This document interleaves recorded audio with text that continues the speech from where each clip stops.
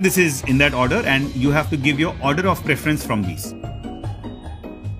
Your favorite festival? Holi, Diwali, Ganesh Chaturthi. First, I'll say Diwali, then Holi, and then Ganesh Chaturthi. Your